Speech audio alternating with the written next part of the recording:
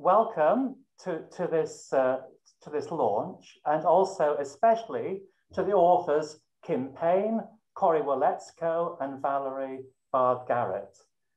Yeah, so in, in shortly, we're going to get, get to you to introduce yourselves uh, with, a, with um, a, a, gem from the book, a game for us to play, um, and to answer some questions. But first, let's welcome you from all around the world. Um, you know, there's amazing Zoom launches, and you know, it's raining in Stroud, and we're feeling rather zoomed out, but there's all these wonderful people all over the world. So please put your name in the chat box and where you're from. And also, if you know, you may want to add a question later. So just take a few moments to do that. And then Susie can check, check out all the chat people. Um, Shelley Winters sending her love and gratitude from Los Angeles. Thank you. Wow, we need the sun here. We've got rainbows. Swapna from India, Heather from Raleigh, North Carolina. Hello from rainy Bath, that's just down the way. Well, we've got rainbows here in Stroud. Hello from Croatia. Hello from Italy, Columbia, Pennsylvania, Hawaii, from Christine. Wow. So welcome everybody. I don't know how many people are due, but um, I think we've had over 100 people. Is that right, Katie? Can't remember. Uh, okay, so, so thank you. And you may have a question. And so the first, it, before handing over to the authors, um, why, um, why publishing a games book and why now? Um, well, Hawthorn was started nearly 40 years ago with the question, what do we do instead of watching television? yeah. So what do families do? What do schools do? What are the resources for a more creative and active family life? You know, how about movement? How about fun? So when Kim Payne moved in to, next door to our family in Stroud, um, our four children, of course, loved his playful energy. And um, I still remember one snowy evening, Kim coming home from Winstone School, absolutely shattered, but he still had time to make an igloo for our children. How about that? and so a bit, a bit, and it was a good igloo, it worked. So a bit later, we invited Kim to, um, to write Games Children Play, and, and here it is. Um, and it's a classic, it's well translated, and um, uh, people kept wanting an update, and he kept, kept putting it off, and the questions kept coming. And I think Cory asked, when are you going to update it? And so, um, you know, so we put Valerie Baadh Garrett and Joan Scheimer's book um, on games children sing and play together with the early years. Um, thank you, Valerie, for showing that classic. And let's remember Joan. Um, so we thought we'd put them together, the early years from Games Children Play, into what I hope will become a new classic, a treasure chest for play. And Games Children Play 2 will be out this winter. So the, the, next question and the story, and that was, we published that in 1996, uh, Kim, Kim John. Oh my. So it's, a, it's about time, isn't it? so why now? So we need to get out and play post-lockdown more than ever. And today, UK-wide children's and family groups have announced a summer of play. You know, so get out there and play in your community, in your schools and, and families. It's an invitation. So this book is just right. And also it's right for me because I've got a two and a half year grandson called Leo who, who insists on playing a sailor went to CCC. But I won't do it because I'll get, I'll get it wrong. If he's there, it's right. So it's good for me as a grandfather. So thank you, Kim, Cory, and Valerie. So now I'd like to, um, oh, by the way, the sailor went to CCC goes very well on Zoom. You know, it's really it's Zoom free. and then he gives you a coffee, sort of helping you through the, the screen. So now, welcome to Chaos, Creative Chaos. And I'd like each of the, the authors to introduce themselves in turn, perhaps a bit playfully. And with a, with a game we can all have a go at, describing a bit how it works. And um, is that trying it out? So over over to you, Kim. Are you first or Cory or no, Valerie? Cory. Cory is absolutely Cory. Do you want to go? Do you want to go first? And Martin, I do remember the igloo. I, I we we we sat out in that igloo. To build an igloo in in England is no small undertaking with with like one inch of snow. So yeah. But Cory, please. So you did ask if I wanted to go first. uh, yes, I do. Yes, I do. Um, first, I just want to say how overwhelming and awesome it is to see everybody here. Um, we made it through a year, you know, a year of chaos and unknown. Um, and I think uh, coming out of the other side of this, I think that the art of play um, couldn't be more important. So thank you for playing with us. Uh, my name is Cory Go. Um, I'm tuning in from uh, Quechee, Vermont, where I teach movement and games to grades one through eight. Um, and I teach outside. And it's not always this warm outside. So um, this new book has a whole section of uh, snowy day snow games. Um, and so today I will ask you to join me in learning a twist on an old classic. So the classic is head, shoulders, knees, and toes. Most of us know it from head to toe. However, now we have a bit of a twist, and this is anyone who um, has ventured into um, the art of skiing. Maybe it's cross country, maybe it's downhill. So for this game, you actually have to stand up. So I'll invite us all to stand as you are able. You can do this game seated. So I'm going to change my camera angle so from head to toe you'd be able to see. So now I have head is here and toes are here. I'm just double checking. Everyone's out from head to toe, here to here. We're going to take head, shoulders, knees, and toes, and we're turning it into helmet, goggles, skis, and poles. skis and poles. It might help if you want to take a moment to pin my video you can go to the upper right-hand corner of the little blue square with the three white dots, and then you can see um, the big picture. All right, so we have helmet, goggles, skis and poles, skis and poles. Helmet, goggles, skis and poles, skis and poles and hat and gloves, snow pants and coat, helmet,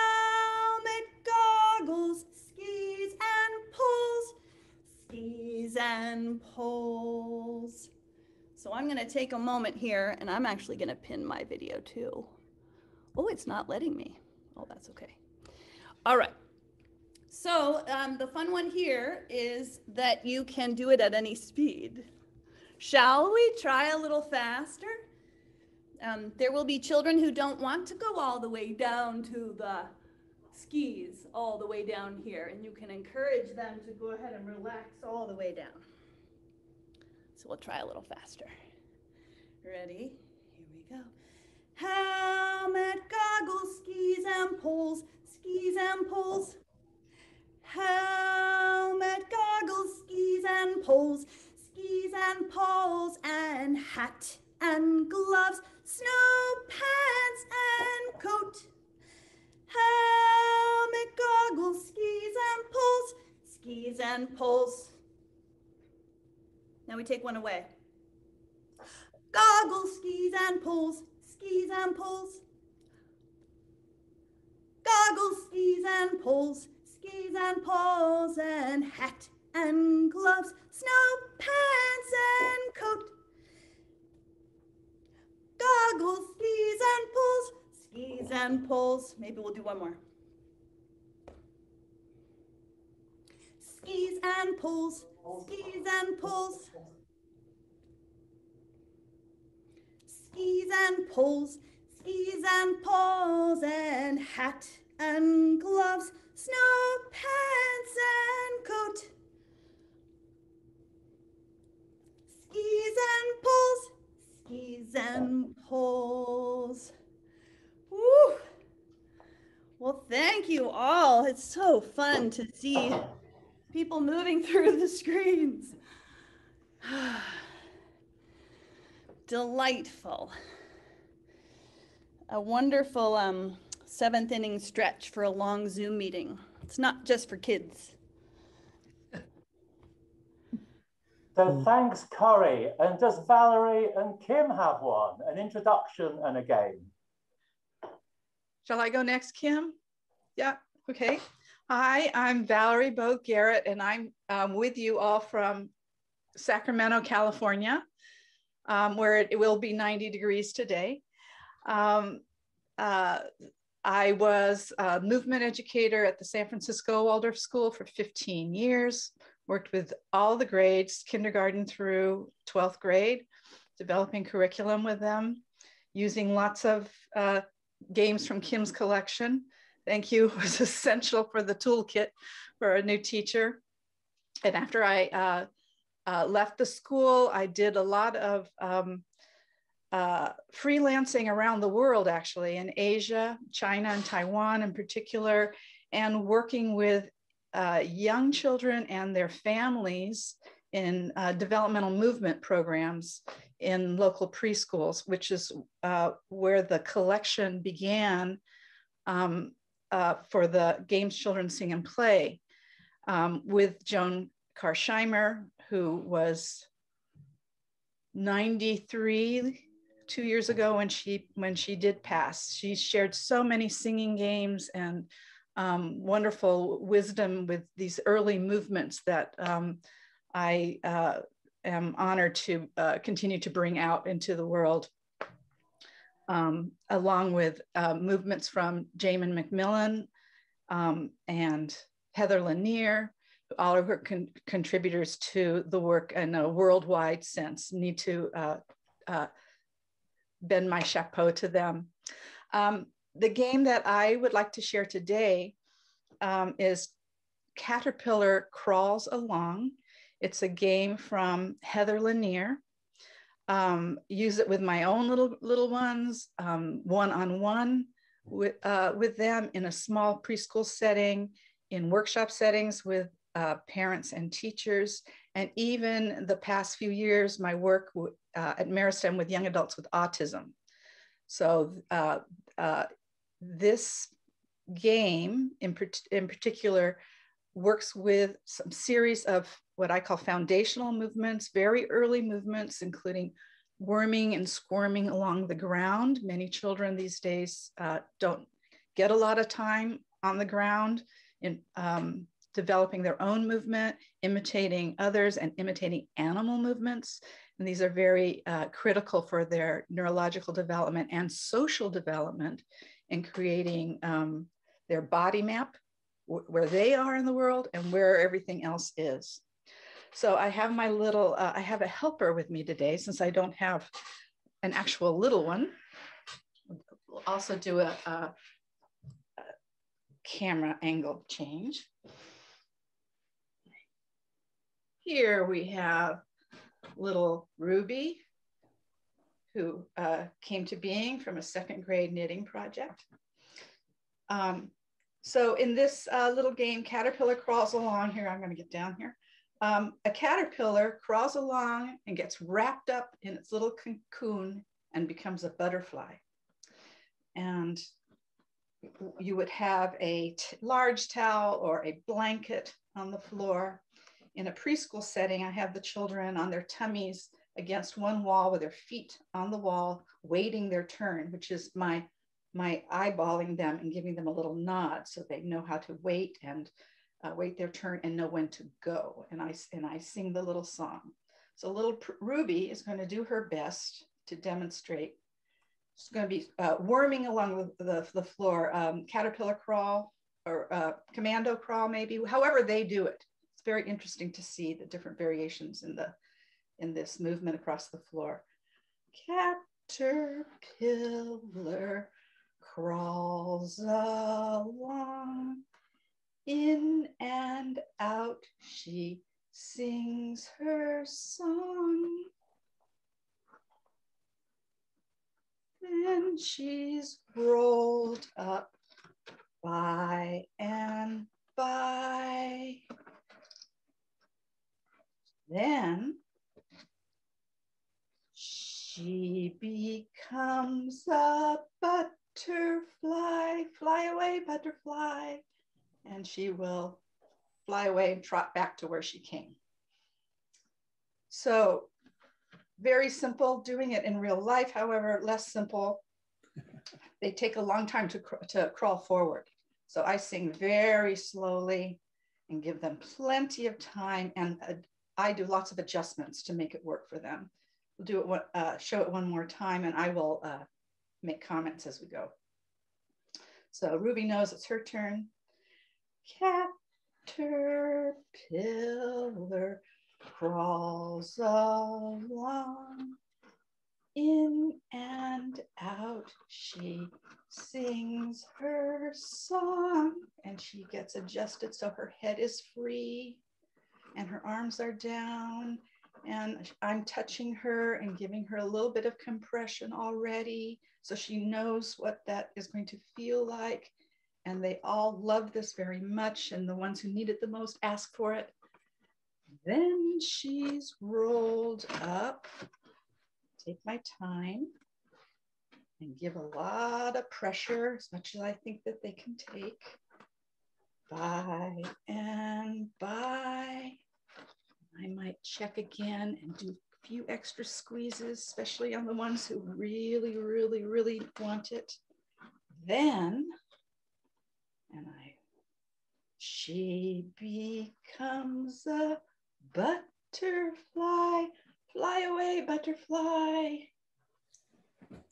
And the unrolling is actually done very, very slowly. It's very disorienting for the children. They're little, they're very little, and they are getting going to get dizzy, um, which is actually uh, helping to develop their balance system, their vestibular system.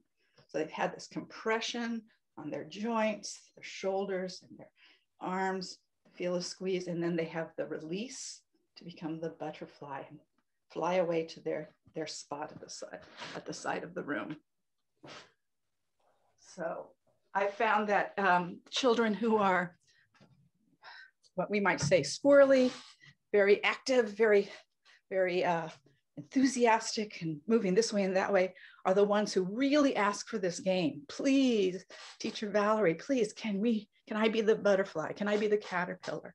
And I, and maybe they might be the one I demonstrate with so that they get an extra dose of squeezing. Thank you. And that, that is on page 49, I believe. 40. 49 of our book. And there's the instructions and the little tune. And if you sing it differently, that's okay, because the way you sing it is the way it is. So thanks, Valerie. I feel like a caterpillar become a a butterfly, even even though it's the evening and even though it's wet, I feel like a butterfly already. So thank All you. Right. You're welcome. And, and for that transformation. And and Kim, what treat do you have? Uh, you were going to introduce yourself a bit playfully, but also also a game. As this this this uh, feast of games was your idea, wasn't it? Guilty. Um, you, you, know, Valerie, um, so interesting because there's another game in the book which uh, is called Who's Under the Blanket. Mm. And it's it's a, such a classic game where where a child um, uh, you know, is under a blanket, as you know, and uh, well, there's children are sitting in a circle around a blanket, and and one child is is is everyone closes their eyes, and one child hides under the blanket, and the children open, and they have to try and guess who's under the blanket, but because they're so little, it's it. often very often they don't they don't tend to look around the circle to say who is not here? The big six year olds sometimes do that you know but the little ones and they come up and they they're allowed one by one to give the blanket a little rub. Mm. and i started playing that more as i realized children's just needed that little bit of a, a rub a little bit of a you know like like the like the blanket you were using, and they give a little bit of a rub, and sometimes there's a little bit of a giggle, which is a good clue. and, and, so, yeah, if if anyone uh, tuning in today wanted to see another one of those types of games, um, that's perhaps an extension. That's wonderful. Thank but, you. Yeah, but Martin, yes, thank you. Uh, uh, my name is Kim John Payne, and um, I just had uh, the greatest time putting this book together with Valerie and Cory, and it was just such fun. My, my background was, um, yep, in in movement. Um, before uh, um, uh, training as a movement teacher and working as a movement teacher, I trained in psychology, and I'm okay now. I always say that really quickly uh, after that. You know, I'm, I'm fine. I've fully recovered from a training in psychology, and um, it's a long haul. And, um, and I've, I've always been putting the two together for years of, of children playing and then helping children who can't play or who struggle to play or who, um, who play um, triggers, behaviors. I've always enjoyed, frankly, the behavior it triggers because it's a whole lot easier to work out during a game than it is for a parent at bath time. you know? um, it's just more playful, it's easier, and it's more um, explosive, right? Valerie, Cory, it, it, it, it, tends to come out very um, colorfully. Uh, so that so um, a, a lot of the games in this book you'll see, and particularly the next book, Games Children Play Too, uh, have tips for how, what, you know, what about children who, who struggle to play? And then, um, uh, yes, I, I um, continued on. Um, I was the co-director of what was then called the Michael Institute for Bothmer Gymnastics and Spatial Dynamics. Nowadays, that's called Bothmer International. Um, name change there, but did that for a, a long, long time and um, and then went more in the parenting direction. So you know we have Valerie with the very young children, Cory who's very contemporary working, and then my interest in parenting. It's like it was a good choice of team, Martin, to put together. Very good choice of team. Um, so that's that's my background. I've been writing. I've written some some books and such as as well, and and have a private family counseling practice right to this day. So, you know, i have been speaking with a bunch of parents just this morning before today. So it's very contemporary. So now the game I chose, um, it, it, comes as uh, uh, uh, perhaps this is the slow movement. Cory, you started off with a bang. Um, I wondered if this might be easier to screen share so you can um, follow this along. I'll see if I can um, pop this up on screen for us. Cory, I can see your, uh, is that come through? Yes. It yes. has? Okay, yep. good. This is called the Gnome's New Hat. And this is an example of, of a game. Um, can you, uh, Cory, can you still see my image when as I show it? Yes, but it's very small. Okay. We can see it. We can oh. see you and we can see your string and we can see largely the page. Okay, good. That as indeed it should be. There we are.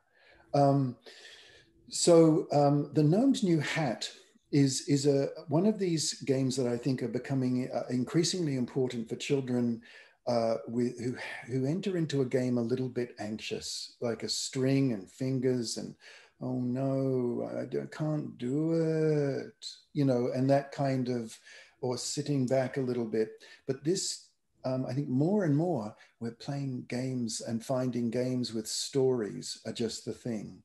That games that, that can carry children along with caterpillars and goggles and games that, that games have always had that.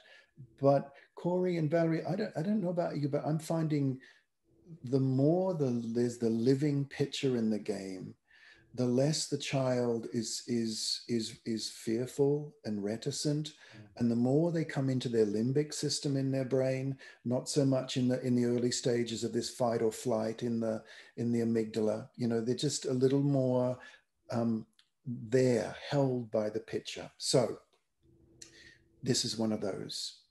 And i'll read it through and i'll move the screen because i've um, it's a, is it about large enough cory to, to read with me yeah yeah. Oh, good. All right. so, once upon a time, there were four gnomes. Now, as everyone knows, gnomes always wear hats. However, these gnomes had lost their hats. So they went to the hat maker in the neighboring village. Please, Mr. Hatmaker, could you make us four new hats? The hat maker bowed. Certainly, dear gnomes, he said. He called to his helper to fetch some thread from the cupboard. And the helper reached between the hatter and the pointer and took out some thread. So, so now we're here like this. Um, and I won't read all the instructions. I'll just, um, it's in the book, of course. Um, so nice to be able to say that. It's in the book. Um, so the helper did a magic dance. With the thread on his finger, he pointed away from the gnomes, then up to the sky. Can you still see? Yeah, up to the sky, and walked over to the pointer gnome and slipped on his new, slipped the hat on his head. I'll scroll up so you can see the next picture. He then reached between the pointer gnome, oops, the pointer gnome and the long one gnome and took out some thread and did the same magic dance and put a newly made hat on the long one's head. Across here and down, there we are. He then reached between the long one and the ring one and took out some thread and he did the dance and placed it on the ring one's head. Finally, he reached between the ring one and the pinky gnome and drew out some thread, did his magic dance, and placed the hat on the pinky gnome's head. Now, here, just to um, interrupt the story a, wee bit, um, one of the other things, Cory and Valerie, I, I wonder if you're finding is games with a lot of simple repetition. And there's always been games with repetition, but I'm finding them more and more healing. Children can really settle into the repetitiveness um, because they know what's coming next. And goodness knows this year we haven't known what's coming next. And these gnomes do, you see. now, the gnomes were very pleased and, and they thanked and they bowed their head, their head to the hatter and bowed their head to the helper and, and bowed and took the hatter bowed and took off his own hat and whispered something to the helper. Let's see if I can scroll across and see that. Um, there we are. In Pompeii, beards and beer, hip hop hat, and disappear. And as these words were being said, the helper took hold of a special thread that was unseen by the gnomes. And as soon as the gnomes were all outside on the street, whoosh, and the helper pulled on the thread, and the hats all disappeared. there's, there's just that magic that little bit of magic. I'll, I'll come out of uh, um, screen sharing now. Good. So um, that kind of, I, I chose that again because it was rather, um, it had some of those aspects that we talked about. Very um, tactile, Valerie, right? Very, very tactile, repetitiveness, but a story that carries it all the way through.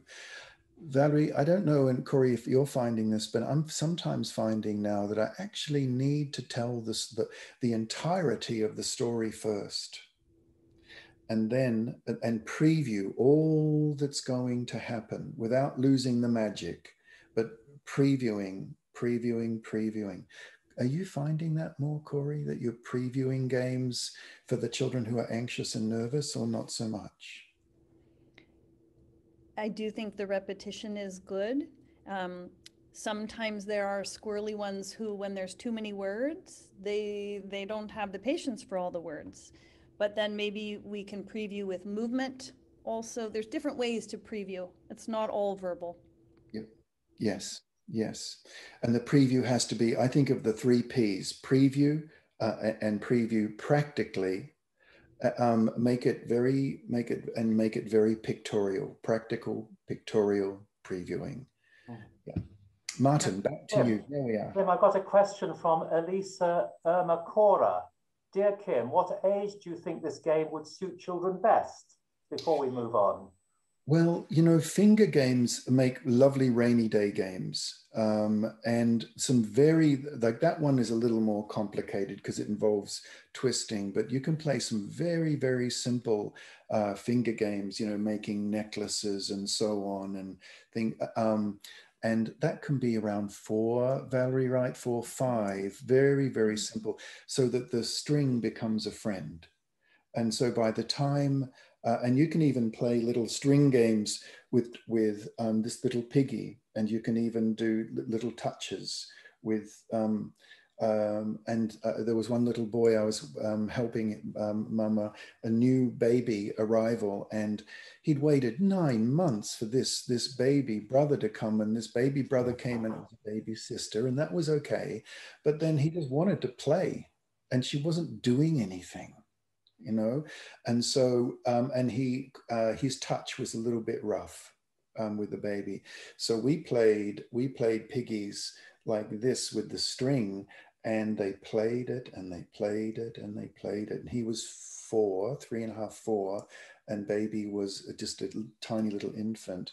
And um, they made good friends through it. Mm. So thank you. That was absolutely magic. Although uh, I, I must say I was in knots a bit. Yes. Oh. Rightly so. There so, was a question earlier. Um, Dale had a question for Valerie about the movement after coming out of the cocoon. They become a butterfly. So it's an away, actual flying movement. But building on, uh, thanks Dale for that question. Um, building on what uh, Kim was uh, just touching on about how to, about previewing the game for the children, for the little ones, um, these cre- uh, creatures or uh, phenomenon, the little gnome, needs to be something that they already know. If a caterpillar crawls along doesn't make any sense if they've never seen a caterpillar or looked at one, a real one. And so to prepare um, ideally this would be done in the home life in the outdoors in the garden where they ideally would spend six or eight hours a day getting familiar with the ladybugs and and, and the little beetle bugs. And then when we have um, little little characters in the stories and and you're absolutely right kim that that, that uh, these games are not cold. They're very warmed by uh, lived experiences and this inner picturing um, that that can develop as, as you know very very young I, we hope of something that they know of.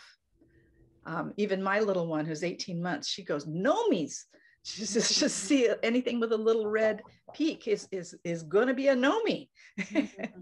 she's she's right ready for to do anything with a nomi or now caterpillar or beetle bug so, so thank you. And just a few few questions now. And just to go back in our biographies, I think um, to be human is, is, is to play, isn't it? And if you go back in your biographies, one of the, hap the happiest memories are of, of play when you were a young child. However, when my sister used to do sharks, um, and, and if you didn't get to an island on the floor, you were eaten.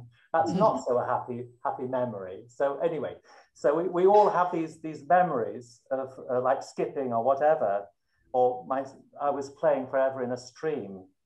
So, so Cory, just a question, what, why are games and play important? And, and why do they really matter now? What a good question. Um, uh, one thing I, I do want to say that ties all of these together is the sense of touch. And now more than ever, the sense of um, touch in our school, we, we weren't allowed this year in the grades. No tag even. Oh. so we had to come up with, you know, how do you, how do you actually play touch and go without touch? Um, so what I love about these games is that they are uh, family friendly and then early childhood friendly so that the regulations um, are not as stringent as they are for older kids. So touch and the senses um, is hugely important. Of course, we know because we're, what are we doing right now? We're sitting in front of our screens. Which is not tactile. Um, there's another part of our humanity that is required in screen time. Oh. And it's here, whether we like it or not. So to balance out all of our screen time in the ethers, to have as much tactile, um, real life experience as possible, I think is healing. And it's not just for children, it's for us as well. Martin, if I could add to that, if I may, Cory, just build on that, is that um, one of the things that uh, we all know, really, saying the obvious, is um, is play is is is deep um, sensory digestion. Play is when children play out their lives. They play the world. They play experiences and it's almost like there it's almost like a sensory digestion process. And the food that they eat through the day through busy car rides and going to school and um, and then being picked up and then going here and there and then coming home and and so on and so on and so on. There's there's myriad images that a child has through the day and what play does is it digests it just like our tummies digest food. Imagine eating and eating and eating and having no digestion. And that for a child um, is, is just as necessary. Their lives are taking in so many things. And then play is, is the digestion. Play is what makes the nutrients of their day available to their being and um, a, a, a, day rich in play. Um, I remember my, my own daughter said to me once uh, at night time, and we were doing our little remembering back with our rose and thorn, a rose for the day, our best thing, our thorn for the yuckiest, a thorn for tomorrow. What's going to be a yucky thing about tomorrow? A rose for tomorrow. What's the nicest thing? And she said in her um, her rose, which said, "Daddy, we played very hard today. and she was, you see, it's there. and um, and her sister said, yes. And they they were so full and brimming of play. And then very shortly afterwards, very shortly afterwards, clunk to sleep because they had digested the day. Thank you. So to move on, I'm, I'm conscious we've got about 15 minutes left, so 15, 20 minutes left. So, can you, the three of you think of where, of a particular child where play has made a, a particular difference to the way they were? Uh, uh, you know, stories, because so you know, a functional instrumental approach to play. You know, they, they use it for learning and all that, but play is wonderful in itself. But can you think of examples where play has made a, a difference to a particular child? I mean, Valerie, well, how, about you? Well, I'm thinking about these um, early movement patterns that um, we uh, uh, that are uh, not just archetypal, but they're they're universal for mm-hmm. all of us to to move from the horizontal to vertical through um, through certain sequences, and um, many children uh, skip steps. May and we know about this. you know, maybe someone mm-hmm. didn't crawl; they just started standing and walking, and aren't they so bright because they just are in a hurry to be in the world? But um, they can't they they have missed something in their in their development.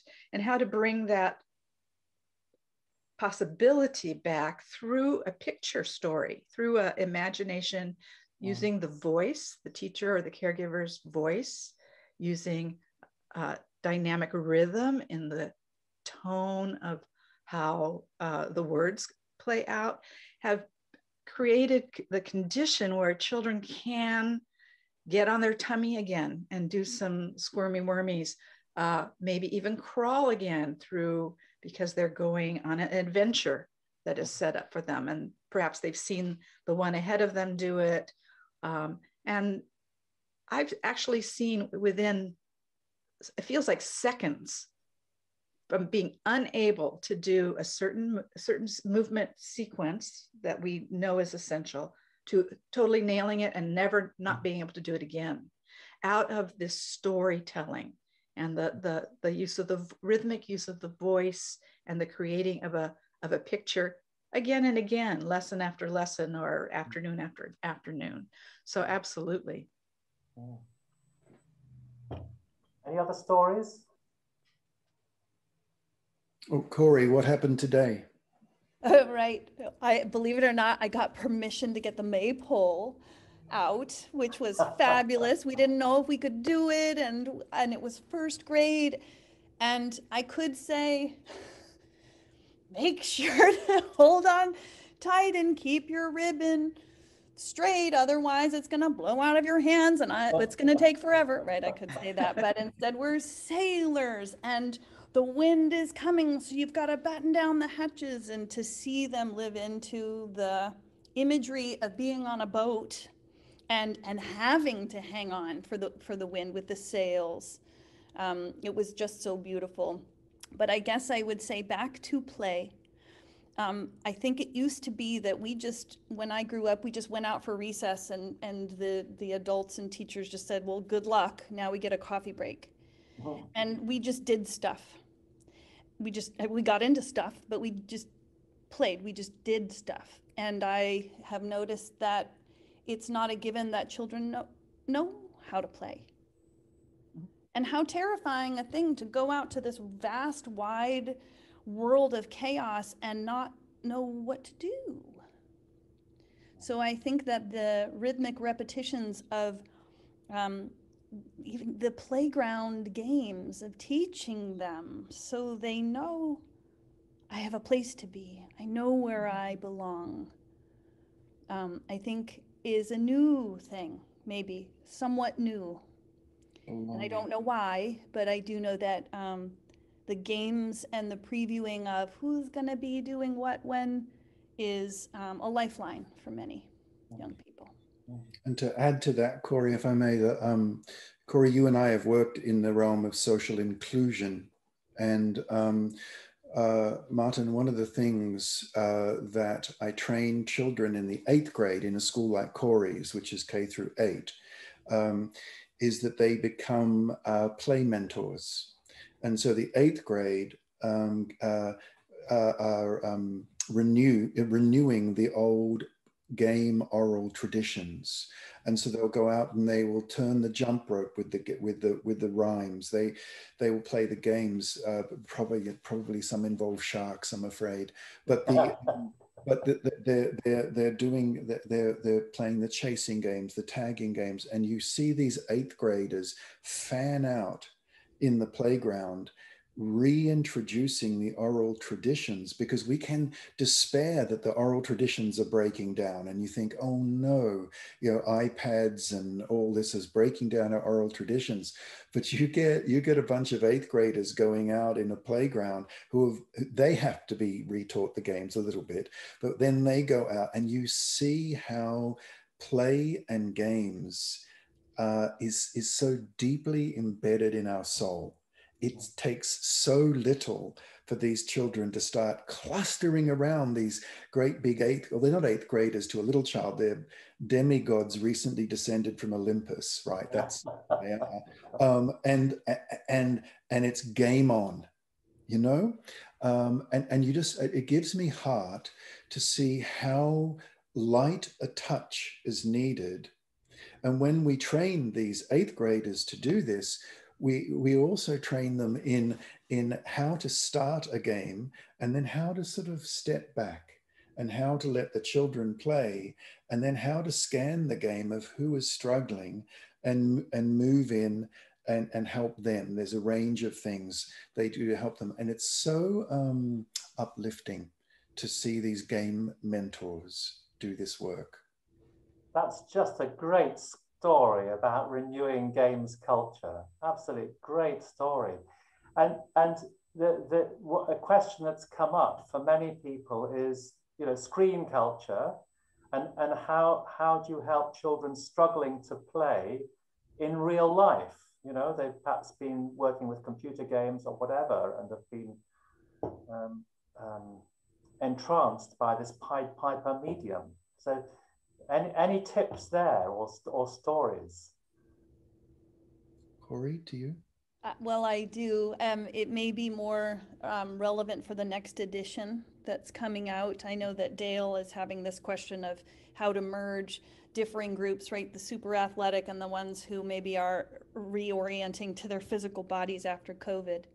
Um, all of the icebreaker games, like the old party games that it, it, you know, not capture the flag and all of these really sort of t- us against them, but goofy, silly stuff that's enlivening the space between players for all ages, mm. right? So not just for elementary age, but for parents and and families too. Um, there will be lots more of those um, coming up in the next in the next book, but good old icebreakers. Yes. Goofy, silly.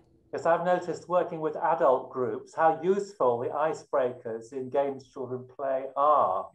I, I don't know if you're finding this, but when I look at a game, when I consider a game for children now, I, I look at um, multiple layers. So I look at a game where, for instance, bunnies and burrows, if the children are going to run from one, one hoop on the ground to the other. Now that's very challenging for a six year old, a seven year old sometimes to do but you can have some stay-at-home bunnies. Yes. And and mm-hmm. and the stay-at-home bunnies like nothing more than just to sit and nibble on a carrot, and they open the door to the running bunnies. And running bunnies um, are, are, are all, you know very very active, and the stay at home. I mean, someone has to stay at home and make sure that the door is open, and you know, and they're given their little task that slowly, slowly, what they do, and this is a, a long interest of mine um, in, in, in brain development for children. It's very important to understand that children need to see it, not just hear it, as you were saying before, Cory, through speech. But if they can, if you can look at a game in, in, in, in our book and say, you know what, there are the multi layers, or you know what, I'm going to make this layer so that when a child can still be with us, but through mirror neuron activity, through that ability to mirror movement be, for example, a, a, a, um, a, stay-at-home bunny with a with a, and who opens the door and closes the door, but sees movement over and over and over, and the mirror neurons, which have been laid sedentary, not not um, uh, not damaged. But that's very important. They're sedentary but not damaged, and so to enliven that though that the axons, those little hooking activity, you can place a child in, and, and it could be as simple as just having a child sit with you and count how many bean bags are passed from one to the other, and and um, and you hold the basket that they go into, but they witness the movement as much as possible. I'm trying to have the child, and this is not just a random find a role. I'm really trying to have a child see the movement and you can and i've seen children valerie i don't know if you've seen this too. I've seen children almost you they they start to um, mirror and they'll start to move with the movement if it's if it's a beanbag. And and they'll start and you see their little bodies start to move even without their hands moving. If one had have tried to push them into the full-blooded game they would have backed off because they would be in free fall. They wouldn't know. They wouldn't know. So uh, Dale, great question. Thank you for that because it's it's a question of our time, right? Trust in imitation. It's another way of, of talking about mirror neurons. Um, but have have games and even whisper to a child saying, "Did you see what Rowan just did? He put that in from one hand to another so beautifully. Did you see that catch? Oh my goodness!" And just and you might even emphasize a little bit if a child's looking away and not not really absorbing. The best way to, of course, is to have them have a role. Thanks, Dale. That's the very brief answer. That's um, that, that was that was a long answer, Cory, for you and I, but it's Dale's fault because that was such a good question. Yes.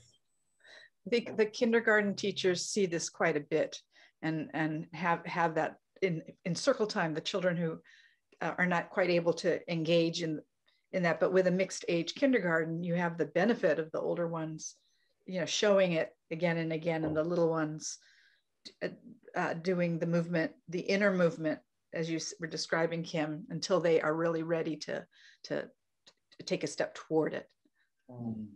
Mm. so we've got a real treasure chest of resources and a worldwide network of play leaders teachers therapists creative people movement people like yourselves you know, it's, it's really awe-inspiring to hear your stories.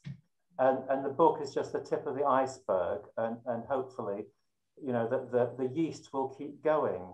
But I just wondered very briefly before we finish, post-lockdown, um, how can we promote more of a games culture in our communities, in our schools, in our families? Do, do you have anything going, any plans for the summer in the States. Here we're planning a summer of, of play. Um, locally, we're setting aside weekends at a farm, 15 minutes walk from here with play leaders and forest school leaders. You know, that's some, something we're doing, sponsoring as a press. But, you know, any, any tips on how, how we can use this magic? Um, Cory, Valerie? Um, one of the things um, that, that uh, I, I, think of this in concentric circles, Martin, one of the ways to lead children back into play um, uh, is, um, well, there's a couple of things. Firstly, is, is, is they, they do it, I'm thinking of, of attachment theory, frankly. And, and when you put, put a little one down in the park and, and, they, and they, they put their legs up and they don't want to, they don't want to play no, uh, you know, and and they climb up you like a squirrel and hide and you know, um, and then uh, they watch and they watch and they watch and then they give the put me down wiggle, right, Valerie? The put me mm-hmm, down exactly. yes, Martin, and the put me down wiggle, and you put the and they take and they uh, they hold your your pants and they uh, your skirt and they take three or four steps away and then they come back. And then they go a little further, then come back a little further what we're dealing with right now is this kind of attachment theory, mm. uh, you know, John Bowlby and this attachment theory on a very large scale. And I think we have to be somewhat careful in just saying, let's play, right? Because that's just, that's, um, I, I think if we can be taking children into play environments, and accompanying them and taking them frankly into work environments where they're working with the animals with the land Uh, you know, seeing some caterpillars, Valerie, you know, going for little walks, noticing, being. And, and the more then we can bridge them into play. So, and then eventually just be stepping back and allowing them to come back to us and snuggle without thinking, oh my goodness, I'm, my child's not socializing. They're doing their very best. And I think to allow them to come back to safe harbor, back to daddy, mama, grandparent, guardian, allow them to come back to aunt, uncle, and then go out again. They'll, I, have seen it already. Um, a lot of waving, a lot of moving out and coming back, but out just a little tiny bit and then back. And if we allow them the comfort to come back and, and really have it be okay, and then out they go again. I think we're, you know, when you look at children's play at the moment, as I have been quite intensively, I'm seeing hesitancy. Mm. And I'm also seeing other children who go into it in a very goofy, rolling about, not doing so well way.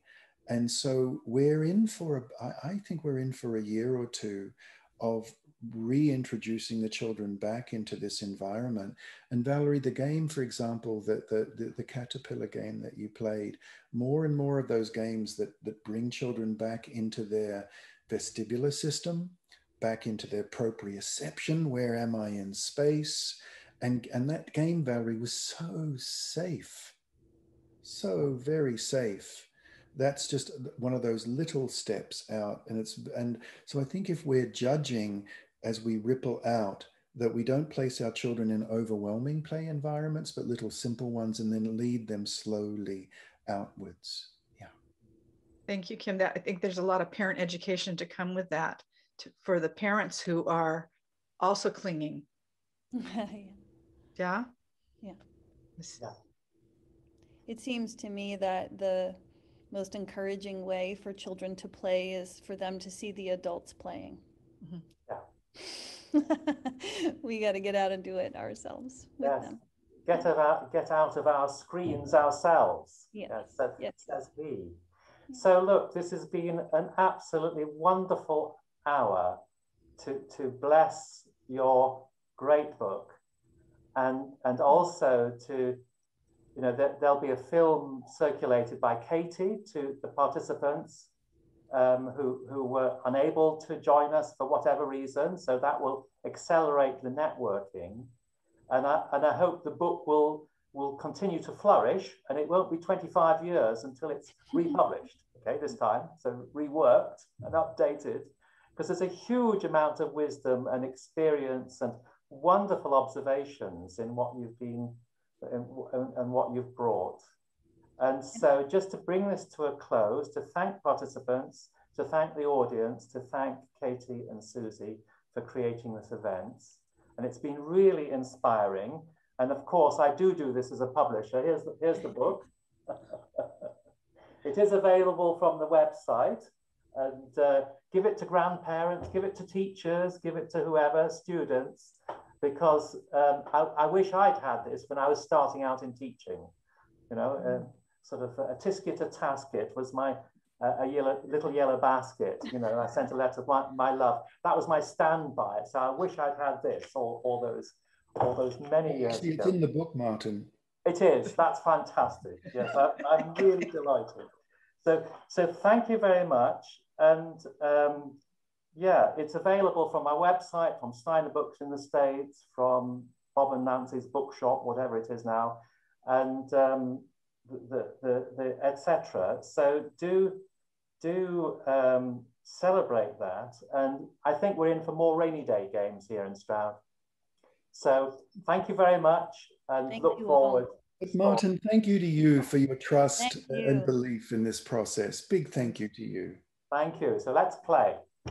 Let's play. let's play. Thank, Thank you, you, everybody. Bye.